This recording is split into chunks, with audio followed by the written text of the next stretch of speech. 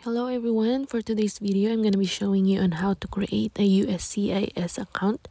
First, you just need to go to their website uscis.gov and all you need is your email address. Under the menu bar, you can see there the create account button.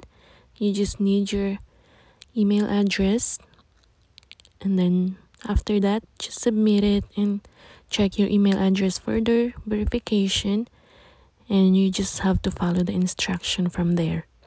Once you're done signing up, just continue signing in and from your account you can add your paper filed cases. Just click on that add a case to your account. You just need to put the receipt number from the notice of action that you have received from the USCIS.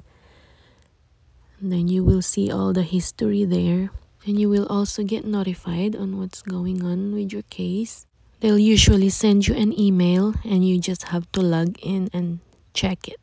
You can also file a form online. Personally, I have filed my naturalization application on my USCIS account. I got all of the notification in my email.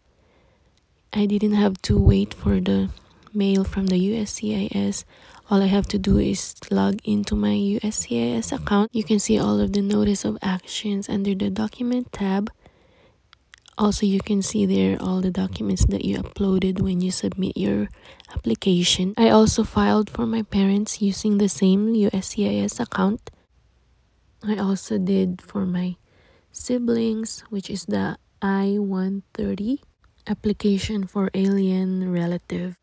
This was from my account previously filed for a 751 paper files when I had to add to my USCIS account using the receipt number.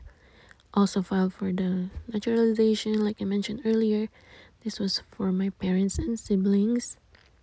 And that's it guys. Thank you for watching.